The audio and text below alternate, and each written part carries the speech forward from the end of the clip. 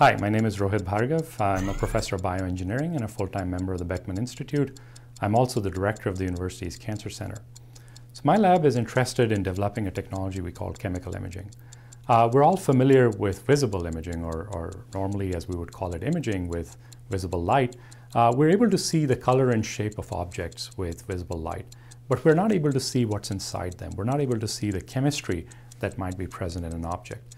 With chemical imaging, we're able to look at an object and not only see its shape and size, we're also able to see what the molecular composition of that object is. So we can understand what makes things work and perhaps why they're failing because of a change in their molecular composition. Uh, my lab develops the instruments and the computer programs that allow us to measure and make sense of the molecular composition. We use this in particular to look at cancers. We want to understand how cancers grow, especially with respect to the contribution of the tumor microenvironment to them.